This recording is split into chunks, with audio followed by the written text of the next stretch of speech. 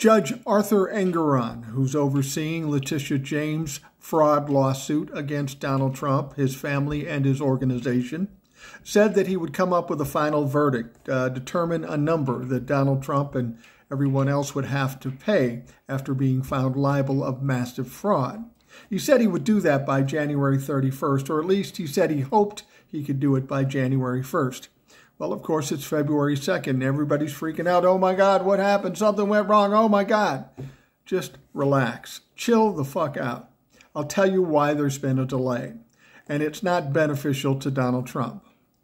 You see, just a day or so ago, we heard that Allen Weisselberg, the CFO for the Trump organization, is pleading out to a perjury charge by Alvin Bragg in the Manhattan District. Now, the interesting thing about this perjury, this perjury would have been committed in front of Judge Engoron in this particular trial. So Judge Engoron is saying to himself, look, this motherfucker lied to me. I better find out what's going on so I know all the facts before I make the determination as to what Donald Trump owes the state of New York.